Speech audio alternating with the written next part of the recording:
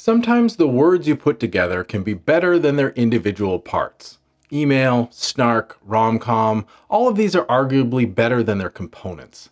DevOps tries to reach the same heights by combining development and operations.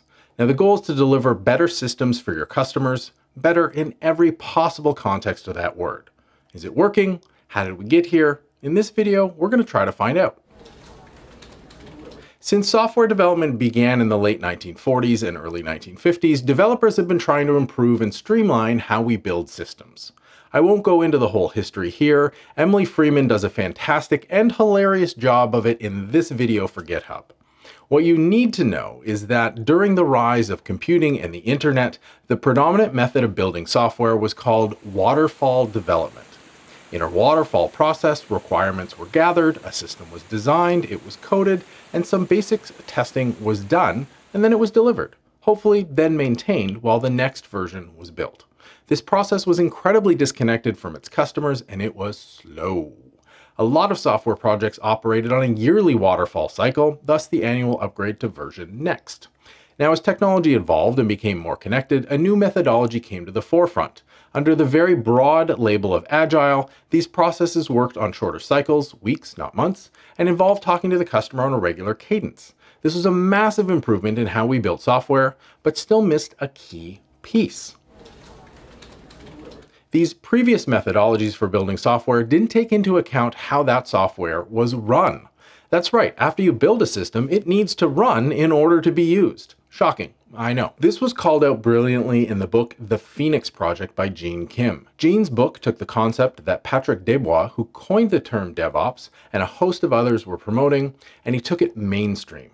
Now, the novel shows the absurdity that was accepted as commonplace in most companies, and honestly, a lot of organizations still run their IT programs this way pre-DevOps software development built something and then basically threw it over the wall for others to run and maintain, whether that was their own operations team or a customer.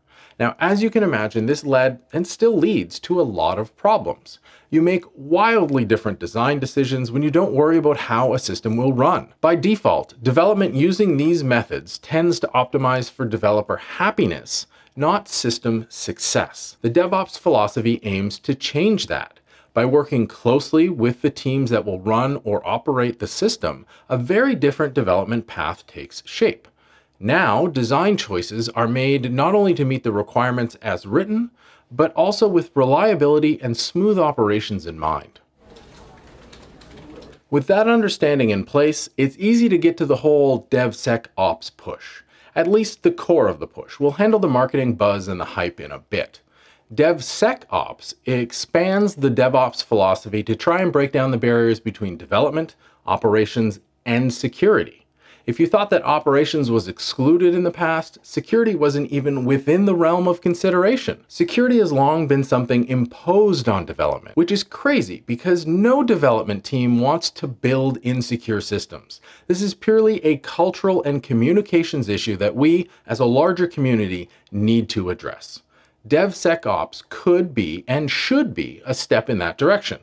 The goal remains the same as DevOps to start thinking about the overall system and other areas of concern early on. In this case, spending time on security requirements throughout the development process and keeping an eye on the ongoing security requirements while the system remains in production. Again, just stop throwing things over the wall and get rid of that it's somebody else's problem mindset. Let's circle back to the marketing piece for a second. You may have picked out that I've referred to DevOps as a philosophy. Why is that? Well, despite what you may think, there's no right way to DevOps or DevSecOps. It's a philosophy that aims to promote that broader systems thinking throughout the life cycle of a given system. Now, how you implement it is up to your teams. Some teams try to have everyone do a little bit of each activity. Some build teams with development, security, and operational specialists. Other organizations simply build stronger processes between the separate development, security, and operational teams. It's up to you to find something that works for your organization. The same thing goes for tooling. When DevOps was just entering the mainstream, you would see marketing claims of being a DevOps tool. Things got out of hand quickly, and the term was pretty much slapped onto anything that had been built within the past 20 years. Now, like any tool, some are better at specific jobs than others. You can use any blunt object to put a nail into a wall, but a hammer will usually do a better job. That's what it was designed for, after all. The same thing goes for development, security, and operational tooling. If it's been built with multiple audiences, a fast pace of work, and automation in mind, it's probably going to thrive in an organization practicing a DevSecOps philosophy. There's a lot of confusion around the terms DevOps and DevSecOps. At their heart, both of these terms really are just trying to bring teams closer together. It's about remembering that there are other teams involved in the system that you're building. It's about having empathy for those teams and working closely with them to ensure that everyone's concerns are addressed. Because when teams work together, the result isn't just better for those teams, but their customers too.